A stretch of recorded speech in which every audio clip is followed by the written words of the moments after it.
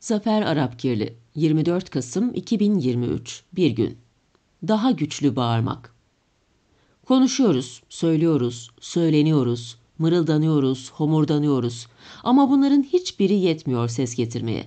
Çünkü tek başımıza yani ya bireysel ya da tek tek küçük örgütlenmeler halinde söylediğimiz için uyarıcı olacak bir desibel seviyesine ulaşamıyor söylediklerimiz. Belki tam da o yüzden 25 Ekim'de Anayasa Mahkemesi'nin aldığı bağlayıcı kararı tanımadığını, aslında Anayasa Mahkemesi'ni tanımadığını söyleyerek darbe girişiminde bulunan ve anayasal düzeni yıkmaya kalkışan Yargıtay 3. Dairesi'ne karşı 16 gündür alınan, bir türlü güçlü şekilde alınamayan tavır cılız kalıyor. Belki tam da bu yüzden Hatay Milletvekili Avukat Can Atalay 191 gündür bir türlü serbest bırakılamıyor. Çünkü yeterince güçlü bağıramıyoruz. Canın üzerine kapanmış soğuk, ağır demir kapıları kırmaya yetmiyor ses düzeyimiz. Belki tam da bu yüzden 577 gündür Türk Mühendis ve Mimar Odaları Birliği temsilciliklerinde ve mimarlar odalarında tutulan adalet nöbetini kimse çok fazla önemsemiyor. Bu yüzden Tayfun Kahraman, Çiğdem Mater, Can Atalay, Mine Özer'den Gezi direnişi davasından mahkumiyetlerini her türlü hukuk ve adalet ilkelerine aykırı olarak çekiyorlar. Belki tam da bu yüzden 2214 gündür sırf bir inat uğruna Osman Kavala demir parmaklıklar ardında tutulmaya devam ediliyor. Avrupa İnsan Hakları Mahkemesi kararlarına bu ülkeyi yönetenler tarafından adeta nanik yapılabiliyor. Bu ülkenin Dışişleri Bakanı hukuku elinin tersiyle iterek fütursuzca ahime siyasi nedenle direniyoruz mealinde konuşabiliyor.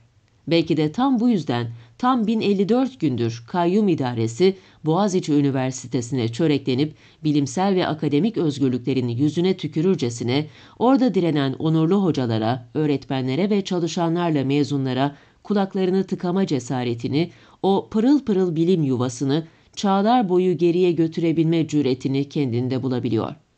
Belki de tam bu yüzden FETÖ yargısının arttığı bir iddianameyle yapmadıkları, planlamadıkları bir darbeden dolayı darbeci diye suçlandıkları 28 Şubat davasından yaşları 77 ile 83 arasında hasta 5 emekli komutan ömürlerinin son günlerini buz gibi hücrelerde geçirmek zorunda bırakılıyor.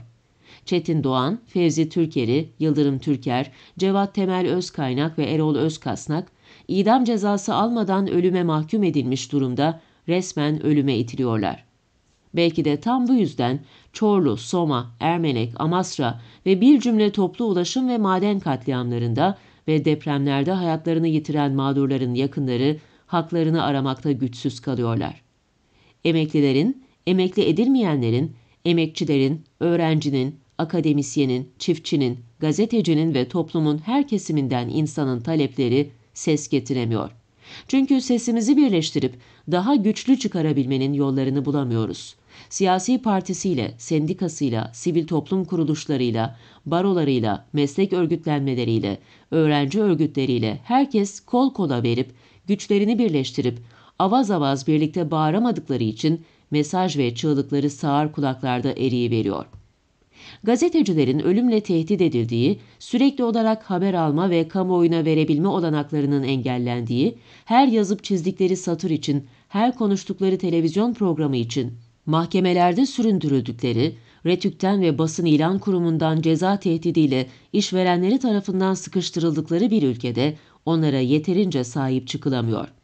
Kiralık ya da gönüllü faşist katillerin cinayetleri soğukkanlılıkla işleyip sokakta senin benim gibi elini kolunu sallayarak dolaşabildikleri bir ülkede bizlerin sesi onlardan ve işbirlikçilerinden, kuklacılarından daha cılız çıkıyorsa bu yetersiz sesten dolayıdır. 10 milyonlarca vatandaşımız kapitalizmin acımasız çarkları arasında bir kıyma makinesinden geçirilmişçesine ezim ezim eziliyor. İliği kemiği sömürülüyor ve açlık sınırının bile altında ücretlere mahkum köle gibi çalıştırılıyorsa sendikalaşması engelleniyor, dayanışmasının önüne bin türlü engel konulabiliyorsa sesini yükseltemediğindendir. Hırsızlık, dolandırıcılık, kolpacılık, kapkaççılık, utanmazca sömürü, kendisine hiçbir yerde bulamadığı kadar geniş bir oyun alanı bulabiliyorsa, altta kalan mağdurların üzerine her geçen gün yeni bir yük bindirilebiliyorsa, neden hep aynıdır. Bağırmamak, bağıramamak, Çare de ilaç da bellidir. Güçleri birleştirmek, kol kola girmeyi becerebilmek, sesimizi katlayarak daha da yükseltmek. Bunu daha önce yaptık. Tir tir titrettik muktediri. Eli ayağı birbirine dolaştı. Vücut kimyası bozuldu. Dünyasını, pusulasını şaşırdı. Unutma biz çoğunluğuz. Onlar mikroskobik bir azınlık. Sesimizi yumruk haline getirip hakim azınlık muktedirleri yenilgiye uğratmak hiç de zor değil.